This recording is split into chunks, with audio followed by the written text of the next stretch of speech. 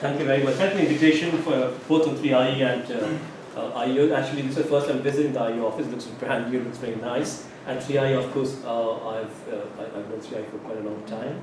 And it's great to see this getting, to, getting together to have this joint seminar series. Particularly with NREGA, where I think there's you know, been lots of discussion about NREGA, what's happening to it, whether there will be, what will happen to it in the future. And I think one of the things we wanted to take in from this particular project, and I'm going to try and summarize six papers in about 25 minutes, um, is to try and sort of tell you that, look, it's important to understand, obviously, the impact on NREGA, and that's been lots of the focus has been on that. Samiksha, um, there's a whole bunch of papers that came out with Samiksha by MoRD, which is a very good compilation of the paper. But before we get to the, the impact of it, we want to understand why is it not working or working well in certain, in certain states, and certain kind of contexts. And I'm going to try and show to you the role of politics, okay? Uh, the dirty word, politics. So I'm going to try and take you to, to different ways of how we look at it. So I'm very fortunate. All I've done really is to try and summarize papers that my colleagues have done. There's only one paper, and so the, uh, the two people being involved. Others are other colleagues of mine. Many of you know very well. Um, so I'm just trying to summarize the papers that we've done in this particular project. And just very quickly taking through the kind of basics of this, we all have know the, what is going on in NREGA. There's a sense there's a crisis going on in NREGA. Whether that's too strong a word or not, we don't know. But we know, for example, over the last few years, there's been a drop in outlays for the GDP, financial outlay, household coverage has gone down from 50, 55 million to about 30 million uh, the last financial year. Average days all these are showing downward trends. Um, and also, the other puzzle, puzzle people keep on talking about that NREGA hasn't seemed to have done well as far as providing employment in the poorest, poorest states. So states like uh, Bihar, uh, Jharkhand, Madhya Pradesh haven't done as well in providing NREGA, I mean, using things like number of households have completed 100 days or 100 days work. Doesn't really matter which indicator you use, you generally see this pattern. It's been commented, commented on by a lot of other people. Now, of course, even if you control for so-called demand-side factors, uh, because obviously it's a, you know, it's a demand-side program, so if you do as a very quick kind of a crude way of doing this, divide by the number of poor in each state, you still you see a very clear difference some states have done very well, relatively speaking, in providing NREGA employment, Himachal Pradesh, Tamil Nadu, Kerala, Andhra Pradesh, Rajasthan, this was more, more slightly old, older data, but Rajasthan doesn't do so well recently. And then even Chhattisgarh uh, are all seen as successful states. And then of course you have states right at the bottom, uh, uh, Bihar, Punjab, probably not so important there, Maharashtra, Assam, Haryana, Gujarat, Uttar Pradesh, and so on. So you see this very clear successful states and, and uh, not so successful states, and we use this as a selection criteria for a, for a state level case study analysis because we use this criteria to say which states we think are successful, which are not, and try and see the differences. Um, sharp, sharp variation within states are also, whichever integral analysis you use, blocks, districts, GPs, this is Andhra Pradesh, which is actually one of the most successful states, we see sharp variation. That's pretty, pretty, pretty uh, well known. But the thing is, of course, that you could say in principle the demand-side nature of NREGA uh, and its common design should really not allow for implementation variation of that significance. Of course, you would expect to see variation implementation across states within states, but not at the, not at the level of magnitude we're seeing right now. And so we need to understand that, both across states in India and within states. And we're going to try and address this puzzle through a political economy lens, so understand the role of politics influencing this. Um, the three core questions that all of us had to kind of tangle with in this several papers, we, the first question was about what capacity the states have to deliver successful implementation on NREGA. When I say state, I mean subnational state, so state level governments and local, and local level governments. Um, the commitment of, of, state agencies and political elites to NREGA implementation, and what are the political feedback effects on NREGA implementation. The third question is actually quite important. I'm surprised that in India it's not discussed very well. If you look at, for example, Latin American experience with uh, Bolsa Familia, with Progresa, one of the things we learned from those, from those uh, from the work there is there was some very strong political feedback effective positive. In other words, mayors who implemented Bolsa Familia well tended to get re-election, higher election probabilities, and often you see that in the first term they implemented Bolsa Familia well, second term they got the, the payoff and they were re-elected. So you need to understand exactly, is that happening in India? Do we really expect to see that? And if it's happening, where is it happening? So we are very interested in looking at political feedback effects. The reason, of course, we, we do think that we see strong positive political feedback effects, it makes NREGA's implementation self-sustaining. If political elites see a benefit in implementing NREGA properly, then you expect to see NREGA being in a good kind of situation where they keep on implementing it properly. So it's important to understand that. And obviously, if you negative feedback effects, then obviously you're not going to expect it to be implemented very well. Um, so what I'm going to try and summarize is about six papers in these four projects. One by Deepta, and I played a kind of a minor role in this, looking at capacity commitment implementation across eight states. Uh, I'm going to talk a little bit briefly about that, about that paper, but I really want to focus on sub, sub-state issues. Abhiroop and Himanshu looked at within within Panchayat Samitis and GPs, understand also across Panchayat Samitis and GPs. Uh, the two papers they have, I'm going to summarize uh, both of them very quickly. Indrajit Roy looked at villages indigenous analysis in Bihar and Gujarat, two villages in Bihar, two villages in Gujarat. Uh, and the Subhasish has done a paper, is a PhD student of mine, looking at Sansads in West Bengal. So several papers, different analysis. We're very keen to, sorry, we're very keen to use mixed methods. We were, so for example, Deepta and Indrajit's papers are all using uh, for, uh, case uh, quantitative methods, interviews, ethnographic methods, and so on. Abhiroop, Himanshu, Subhasish's papers are using quant methods. So we wanted to use different methods because we do think that's the best way to think about any kind of uh, any kind of work of this kind. Also, we're very keen to use different units analysis, GPs, blocks, districts, states. Okay, so we're very keen to work at different levels of analysis, and that was why we used, we, we, we were trying to try to use different states. Uh, we're trying to compare across and within states in almost every work. So I'm, I'm very comparative. We're trying to be comparative as much as possible. Kuna, right. Sorry. Could, could, I just ask a really, really um, painful question? What is a Panchayat Samiti? District, the district panchayat. Yeah, the district panchayat. Um, before I get into the specific papers, here's a paper that Himanshu and Abhiroop has written, which I just want to kind of flag this because I think there's a big question now. If you're seeing NREGA's outcomes falling, is it just people just don't want NREGA anymore? Is it just because they've got other stuff, other things happening outside the uh, uh, outside NREGA in terms, of, particularly in terms of off-farm work? So is NREGA uh, is demand falling over time? So this is an important question we have to kind of address. So Abhiroop and Himanshu, what they did in Rajasthan is they actually did some service of, of uh, villages, particularly poor villages, um, and asked them the question like about, do you really want NREGA work? And if you're not getting NREGA work, why is that? So for example, the question they asked, is it demand not demand constrained? The first question is like, is it why, you know, if you're not getting NREGA work, what is the reason? And basically the lot of times the argument was it was because it was demand constraint. And then you start getting into more specific detail, why, when do houses get work? So they ask them, ask the villagers, when, when, they, when do they get work?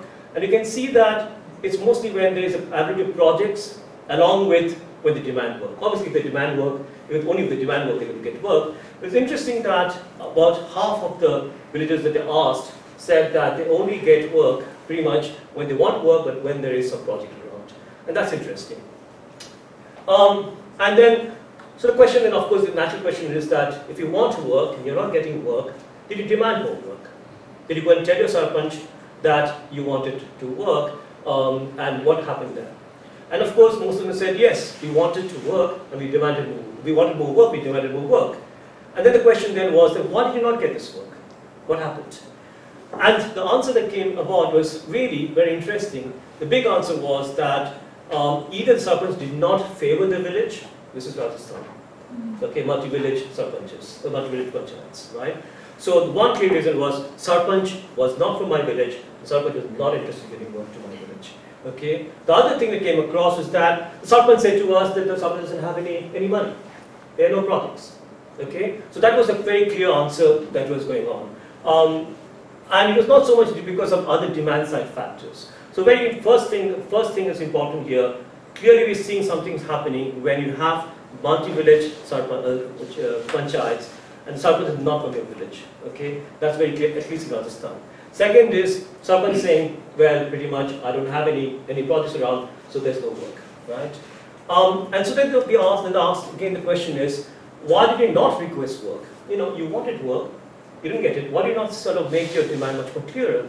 And the answer was, majority of them said, the villagers were told they will get work whenever they start Okay? Now this is something I think is an interesting thing that's coming out now. This is just one state, and this is a, this is a survey of uh, about 2,000 villagers in different, village, in different villages in Rajasthan.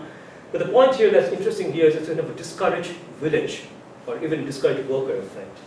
You go to the sarpanch once, twice, sarpanch says sorry, no work. Then how many more times are you going to go and ask for work?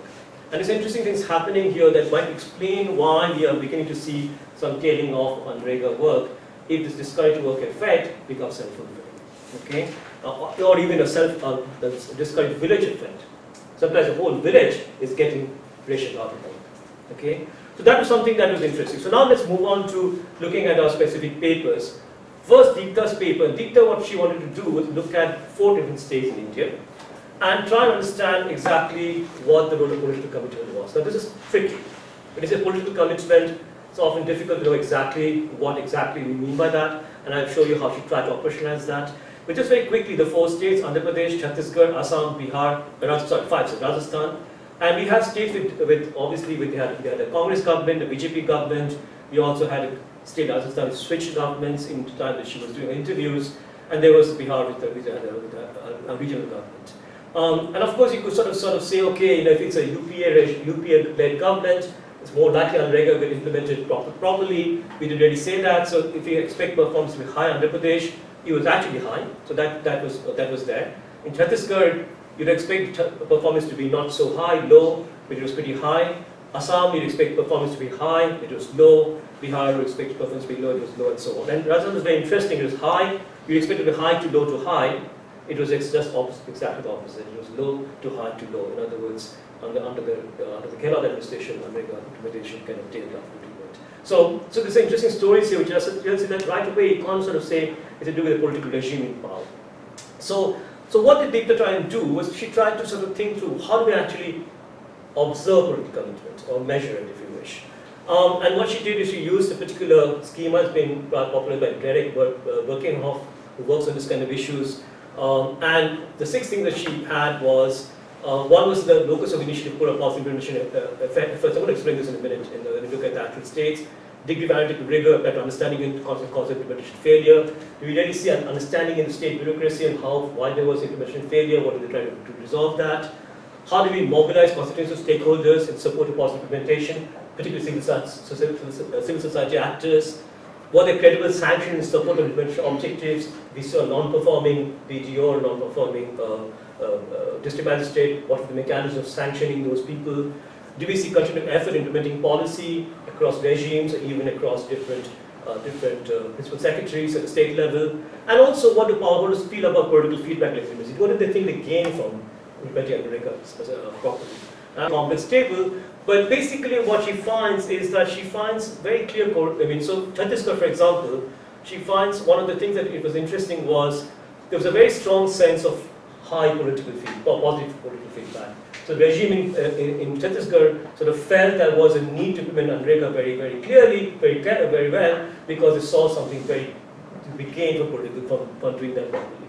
So you can see then again, for example, in um, if, you know, for if you look at the Chhattisgarh story, which is quite interesting, you see even though Chhattisgarh doesn't do very well in every aspect of, of commitment, it does well in, in most of them. Okay, but this is interesting because Chhattisgarh is seen as a low capacity state. And Chhattisgarh is unusual in, in actually doing America properly. Assam is just opposite. Assam actually has pretty much low in almost every dimension of commitment, right? And Assam, of course, is a state where we know Andrega has not been implemented very well, and, is, and in Deepta's assessment, very low commitment of the political elite at different levels to Andrega. Andhra Pradesh is an obviously story we know very well. It's high all through. Bihar is interesting because Bihar we have again variations of commitment in different in different measures, but on the whole in Bihar we have low political commitment. So the story that, get, that Deepta gets from, from this from this work, which is basically doing key, key, interview, key informed interviews with different different stakeholders at different levels, you get to see quite different kinds of commitment levels in different dimensions in the states. And, they, and she would argue that this has a correlation with actual outcomes that you see. So just to summarize her findings, she finds that commitment capacity are very critical to policy implementation outcomes. That's pretty obvious, I think. And they intersect with each other. In other words, we tend to see high capacity states like Andhra Pradesh also seeing strong political commitment both the, of, the, of the political elites but also of the bureaucracy. Low capacity states, there's only one state in, uh, which has done well in terms of Rega, that's Chhattisgarh. You seem to see that the state can sort of fight against its obvious disadvantage with low capacity with, with strong political commitment. And she also finds, I think, from her Rajasthan uh, work, that coming is a dynamic concept. It seems to change with different events, different actors, and different circumstances. Um, and of course, the final thing I think she would like to highlight, she would like to highlight is a way to handle this issue is not through kind of more and more rule-based ways of implementing NREGA. You've got to really understand what is it that actually makes political elites interested in NREGA. And why do we seem to see that varying across these different states? And why do we seem to see it varying for a given state like Rajasthan over time? That's something we need to understand. Going on from state to village is a paper Indrajit brought, which I think is very interesting because it does it in a different way than I've seen other, other, other work on this. What Indrajit does that he takes two states in India, Bihar and Gujarat. Gujarat is the good story in terms of, you know, standard stories about uh, administrative outcomes, and Bihar is usually the bad story. And what he does is that he takes two villages in Bihar, he calls B1 and B2, he doesn't want to reveal the identity, Gujarat G1 and G2, and he tries to understand variation in Bihar between B1 and B2 village and, and Gujarat G1, G2 village, and he purposely selects his villages very carefully, and, I, will explain in a minute. He selects uh, uh, two blocks, in uh, two blocks, Bhargama in Bihar, Patan in Gujarat. Within that, you have two villages, B1 and B2. B1, by and large, does very well in NREGA implementation. B2 doesn't do so well. So, for example, you can see B1, by and large, is, uh, you know, government outcomes are by and large greater than the block average. Uh, B2 lower than the block average. Same thing, G1 does better in implementation than G2. Question is, can we relate this differences in implementation even within a state in two villages in the same, uh, same block to political variables? And here's the way he tries to think through it. He argues that actually one of the things we're going to understand is that who is the, are the people are hiring on labor agricultural work? These are mostly agricultural laborers and marginal farmers. Who are the people who actually employ this kind of laborers in the in private farms? There's a small and medium and large farmers. And you could understand exactly how NREGA actually works at the village level, you could understand both where the demand for work coming in, and on the other side, those who supply the work to them through, uh, through, a, through an NREGA. So we understand exactly that. And the thing that's that is interesting in, in his work, he says that the way it plays out is actually the way agriculture labor with marginal farmers forge coalitions with small, medium, and large farmers. In other words, NREGA's implementation is very much the way it plays at the village level is the way local level of politics works, and the way coalitions are formed between between those who want work and those who can probably control the supply of work. So how does it work out? So in, in Indrajit's framework, there are two kinds of elites who can who are are there. The, the first is the, the, are the rich farmers who combine agriculture incomes with profits in retail, real estate, labor contracting, uh, usually from large and medium farmer upper class background, um, with somebody in the bureaucracy or corporate sector. Then in the, what he calls the precarious elite, who have a limited profits from, uh, from agriculture, and this is typically small farmers, intermediate caste background, or retailers, immigrant, immigrant upper caste background. Question therefore is that when you think about implementation at village level, who sets the who sets the agenda for, for the politics in that village? That's the question. Is it this guys here, or is it this guys here? Both are both are groups who are in the elite class. Both are actually a situation where they might be demanding agricultural workers in their fields, but exactly how it plays out depends very much on whether this is decided model. How exactly? So think about really uh, are agricultural laborers aligned with which of these elites at the village, village level? right? Who are the agricultural workers are able to form alliances with? And also, which of these groups are able to set agenda for the local level politics? Those two things are the crucial variables here. How does this work? So imagine then there are two kinds of possibilities of coalition. The farmers, the, uh, the laborers can form an alliance with the elites, or they can be isolation with the elites. They have no link with the elites. And on the, on the other side, you have entered elites, the ones who are the rich farmers, who can, who can either form an alliance with agricultural laborers, we call that an incooperative settlement, or you know, precarious elite who forms an alliance with the, with the agricultural laborers we call because an egalitarian, egalitarian settlement because you have both small farmers and the uh, agricultural laborers forming an alliance. Same time, you can have entity elites who are not really forming an alliance with agricultural workers and who essentially use NREGA or any other mechanism at the village level to distribute rents to agricultural workers that he calls patronage. And finally, you have a situation where you have precarious elite who are actually not in line with the agricultural workers, they call them cleave settlements. And he's, he argues, this is really based on a lot of, he spent, he spent about a year in the villages um, doing what he calls ethnographic hanging out. Um, you can see very clearly that you expect that this kind of, um, this kind of uh, this kind of alliance with an entrenched elite can actually be better than American implementation. That's counterintuitive. That, so let me just repeat that. His argument is, and I, let me just actually put up the argument here. His argument is, if entrenched elites control the local government, they are very low interest in making America work properly. Because they don't really demand work, agricultural workers in their farms. They have other interests going on, they have non-farm income, so on. They have very little interest in not making America work properly.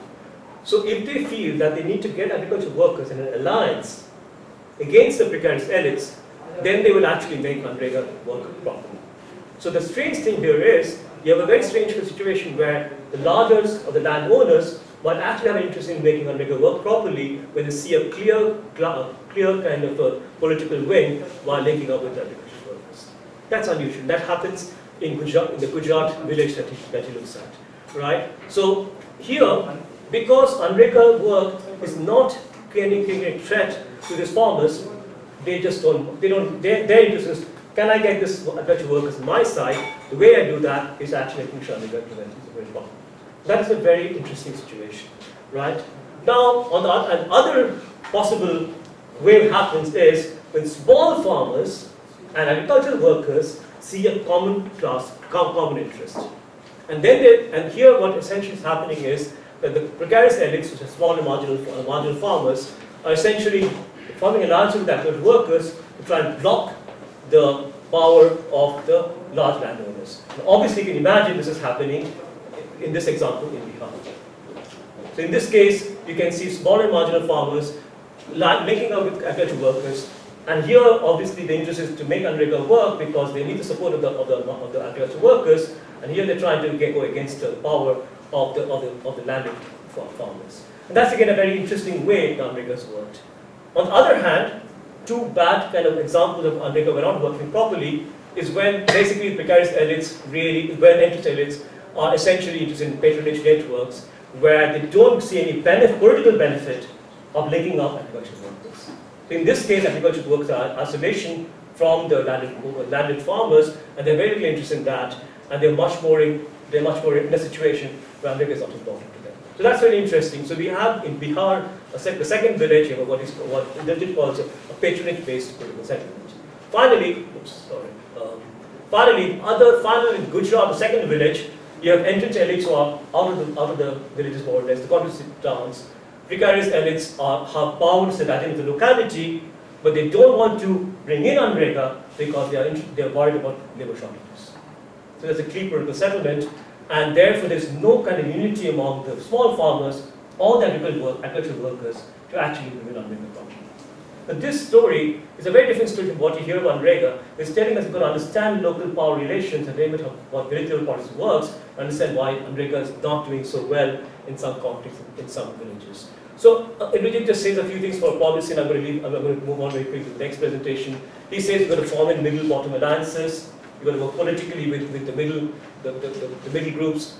We got to also perhaps think of allowing Manrega work with private farmers, medium farmers to get interested in, in Manrega implementation. Because the problem really is in his, in, is we don't seem to be interested in, in many cases. Perhaps include the nearly poor and the pro-poor interventions, think of more universal inclusive services, so that's probably more uh, you know, I, I mean, that's not sure it follows from his work, but essentially the argument here is to think more creatively around what are the political blockages implementation and try and work around that. That's a very different take. So the next thing I to turn to now, I've shown you the qual work.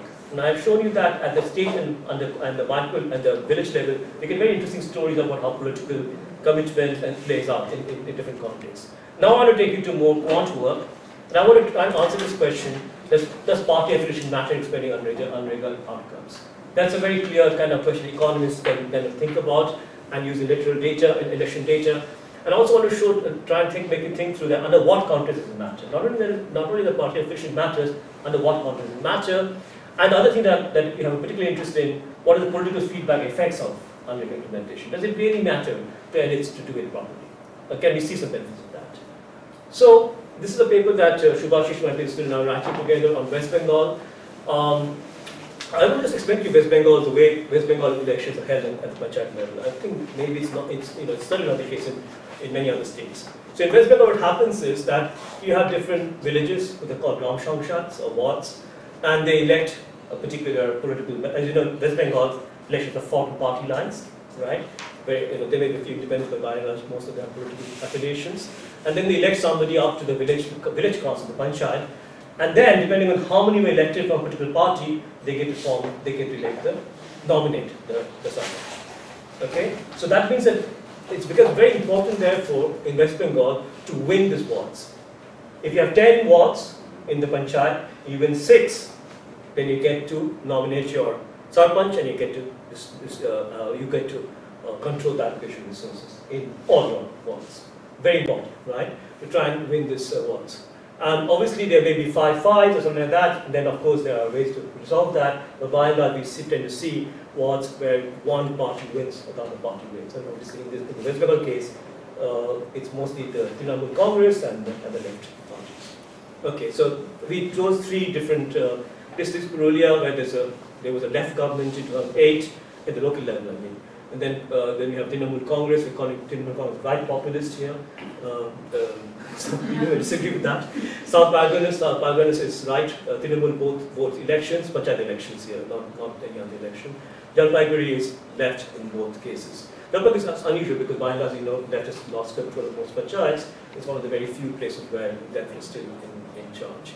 Okay, um, very quickly, we got a lot of data here. We got 569 villages, uh, over 49 village, village councils. We got detailed village level rainfall data. Um, so we to try and control demand side factors. And so I also the other thing that uh, we did, we got this surveys of 569 wards, villages, uh, and we got data on NREG's implementation at the village level. As you know, that is not available otherwise. Panchayats collect data on their own panchayat, but the village level it is very difficult to get. So we went to villages, collected NREG's expenditures and so on for those villages, uh, and then we mapped it to uh, other things. Okay, so basically we have three years panel data, and we have election year 2008 and election year 2013. So we have a nice way to look at things happening over time. Very quickly here, um, the main thing here, as you know now already, that in West Bengal there was this big shift when the, the left had 56% of seats, it was on 8, and now they're 34.8. Big shift towards Trinamool Congress, which is now at 49% of seats. And so we are able to actually see big changes going on in these panchayats. Uh, the other interesting thing is if we look at NREG expenditure for each ward when the, G, the, when the GP board, the Gram Panchayat board is TMC, or when it's left, you tend to see that uh, in the Trinamool Congress boards, the Trinamool Congress nominates the Sarpanch, they tend to spend more in their own wards, where the wards where they have had, had people, their own uh, members elected from. Same thing the left. But we don't really know because simply trying to capture something else. So we need to be much more careful about this. I'm going to now try and take you through a way to try and think about this. Um, I'm not sure how many of you are into this, uh, in, in, into identification here, so I'll quickly go through this. Basically, we're trying to do fuzzy regression country design. What we have to capture is, when does somebody get elected in a particular ward? Now, usually, if it's 51% or 50.001, then obviously that person is elected. But in West Bengal, you have Congress, left, Trinamool, BJP to some extent, and a few other parties. So you can get to become elected even with less than 50%. So we have to use fuzzy, fuzzy, uh, uh, fuzzy RDT because you can even get elected with 35% of votes. Okay, so you need to capture that. So basically what you're going to try and do very, very simple, we're going to have an outcome variable NREG expenditure by village. We have uh, a treatment, we're going to try and capture the treatment effect of somebody becoming the ward member, becoming the, the ruling party in that board, and see whether that makes a difference in where the particular uh, GP spends the money, which wards. Okay, and I get when I get to the result, it will become easier. This is an important thing. Just forget about this side. This is a much more complicated. What you really find is that the moment you hit 50% in a particular ward, of course, you're going to form, you're going to form the you're going to win, right? But you can even win even when you are even. So you can see the big jump here. So in West Bengal, even if you get around 22% of a vote in specific wards, you can win. Okay? And obviously the probability of winning increases as you hit 50%.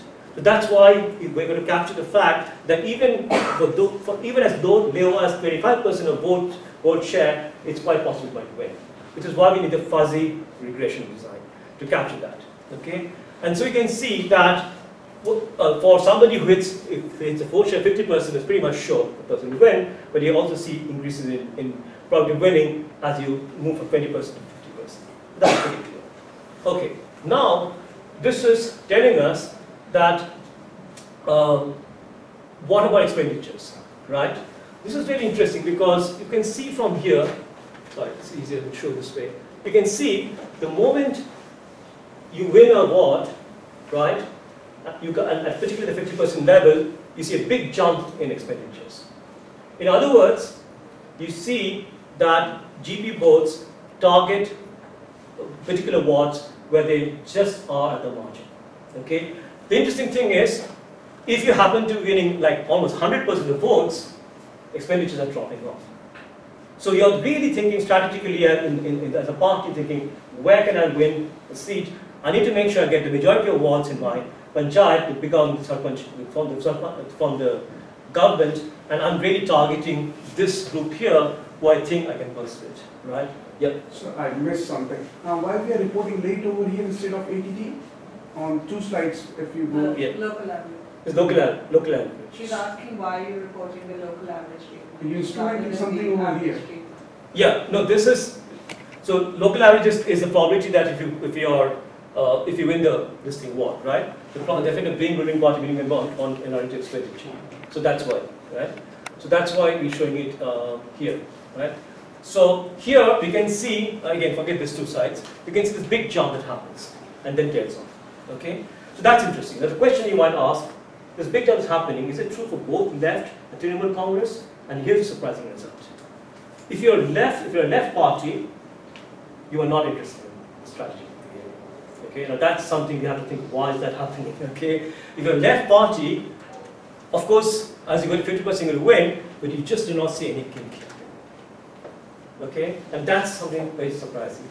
So left parties do not strategically allocate, when they win a vote, they don't strategically allocate money towards the wards where they have a kind of a 50%, you know, where the vote share is just about the 50%. Okay, so that's really interesting. On the other hand, Trinamool does a big, there's a big increase, there's a very big increase with Trinamool Congress. Trinamool strategically looks at wards where they are, in, in, where they might lose, and this, in the next election, they strategically increase expenditures, energy expenditure to that particular ward. So there's a big difference left and, and, and Trinamool.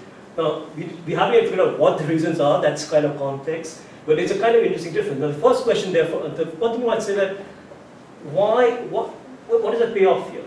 Does it really matter? Well, yes, there's a big payoff. So first of all, let me show you the results. So forget about this here. You can see ruling party, big jump in NREG's expenditures to the ward.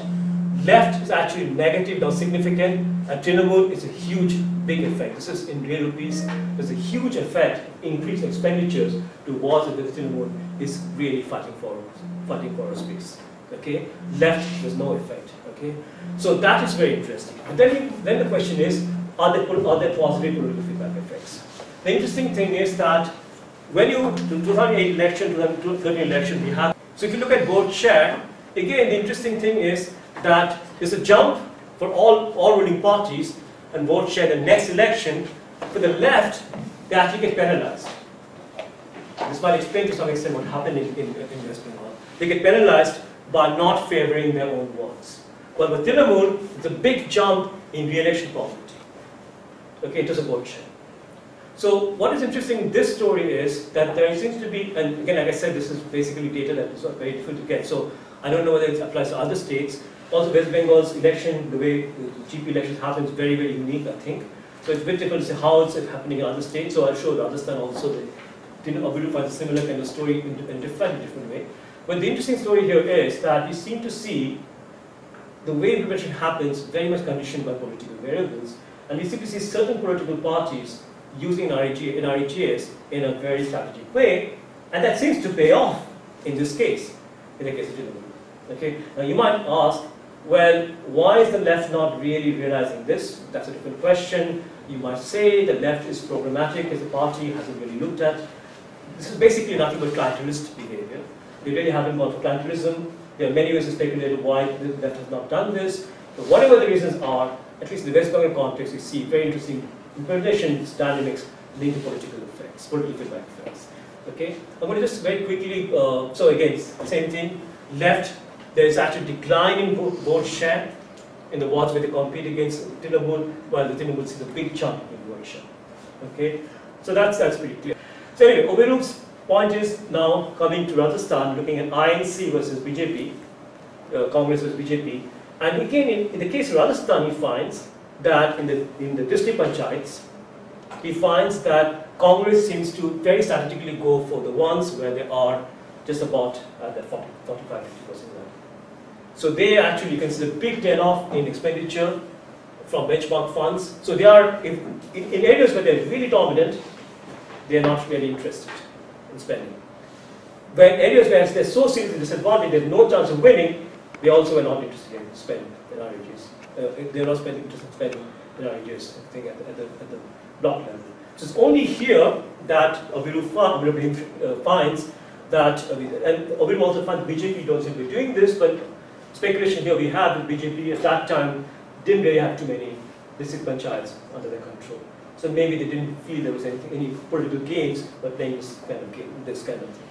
Um, and also closely, so wherever there are close elections, Trinamool, uh, sorry, Congress actually plays a very strategic thing here by increasing funds wherever the vote share was lower in, in close country elections.